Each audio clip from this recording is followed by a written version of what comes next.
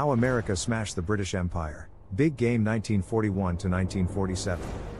The years between 1941 and 1947 marked a pivotal period in world history, as the United States and the British Empire engaged in a complex geopolitical struggle that significantly contributed to the decline of British imperial power.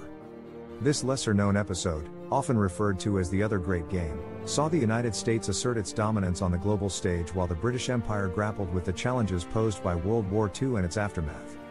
The context of transformation. As World War II raged across Europe and Asia, the United States initially maintained a policy of neutrality. However, the attack on Pearl Harbor in 1941 brought America into the war, shifting its stance from isolationism to active engagement. This entry onto the world stage had profound implications for the British Empire, which had long been a global superpower but was weakened by the war effort. The Lend Lease Act and Economic Supremacy. The Lend Lease Act, enacted by the United States in 1941, was a turning point in the dynamics between the two powers. This legislation allowed the U.S. to provide military aid, including weapons, equipment, and supplies, to its allies without requiring immediate payment. While the aid was intended to bolster the war effort against Nazi Germany and Imperial Japan, it also had the effect of strengthening American influence. The British Empire, struggling to sustain its war effort and finance its military campaigns, became increasingly reliant on American support. The vast economic capabilities of the United States played a pivotal role in the outcome of the war, but it also signaled a shift in global economic power. The financial and industrial strength of the US began to eclipse the economic prowess of the British Empire. The Atlantic Charter and shifting alliances. In 1941, President Franklin D. Roosevelt and Prime Minister Winston Churchill issued the Atlantic Charter, outlining their vision for a post war world based on self determination, disarmament, and free trade. While this charter symbolized the cooperation between the two nations, it also exposed underlying tensions and differing priorities. The Atlantic Charter's emphasis on self determination and decolonization clashed with the British Empire's desire to maintain its colonial possessions.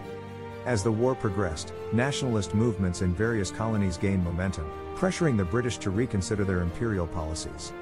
The emergence of the United States as a champion of self determination further eroded British authority. The Bretton Woods Conference and Economic Reorganization. The Bretton Woods Conference in 1944 was a crucial event that solidified the United States' economic dominance and set the stage for the British Empire's decline. During this conference, representatives from 44 allied nations convened to establish a new international economic order. The US dollar was established as the world's primary reserve currency, and institutions like the International Monetary Fund, IMF, and the World Bank were founded. The Bretton Woods Agreement solidified the economic influence of the United States and relegated the British pound to a secondary role in international trade and finance. This reorganization further weakened the British Empire's economic standing and marked a shift in global economic leadership. The end of empire and the rise of superpowers. The conclusion of World War II left both the United States and the British Empire grappling with the realities of a transformed world. The war had exhausted British resources and exposed the vulnerabilities of its imperial holdings. On the other hand, the United States emerged from the war as an unrivaled superpower, possessing both military might and economic strength. The declining British Empire faced mounting pressure from nationalist movements in its colonies, demanding independence. The post war years witnessed the rapid decolonization of Africa and Asia, further diminishing British imperial control. Meanwhile, the United States economic aid through the Marshall Plan aimed to rebuild war torn Europe and solidified its role as a global leader. Legacy and reflection. The period between 1941 and 1947 saw the United States effectively break the British Empire's once unassailable global dominance the Lend Lease Act, the Atlantic Charter, the Bretton Woods Conference, and the broader consequences of World War II all contributed to this transformation.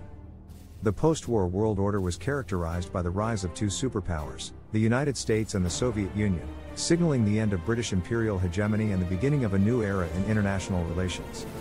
As we reflect on this pivotal chapter in history, it becomes clear that the other great game of 1941 to 1947 marked a turning point not only for the British Empire but also for the trajectory of global power dynamics in the 20th century and beyond.